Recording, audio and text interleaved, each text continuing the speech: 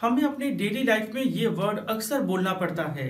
देखो जैसे, देखो नीचे क्या है, देखो वहाँ क्या है, देखो नीचे एक सांप है। तो फ्रेंड जब कभी भी आपको अपने लाइफ में इस तरह के सेंटेंस बोलना हो जहाँ आप कहते हैं, देखो तो इस तरह के सेंटेंसेस बोलने के लिए आप इन सभी वर्ड्स का यूज़ कर सकते हैं। जैसे, देखो, ये क्या है?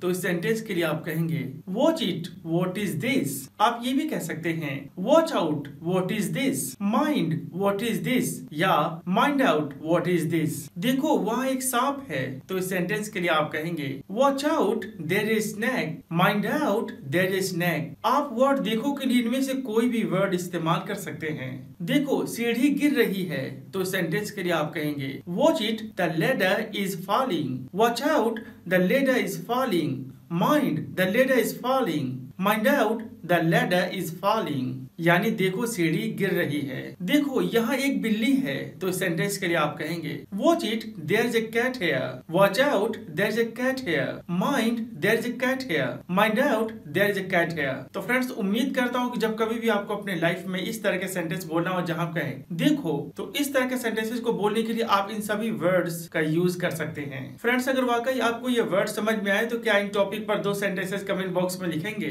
अब आप प्ले स्टोर से मेरा इंग्लिश स्पीकिंग कोर्स का सॉफ्टवेयर भी डाउनलोड कर सकते हैं, जिसका लिंक मैंने डिस्क्रिप्शन में दिया हुआ है। फिर मिलते हैं कुछ और अच्छे इंटरेस्टिंग लेसन के साथ। तब तक के लिए बाय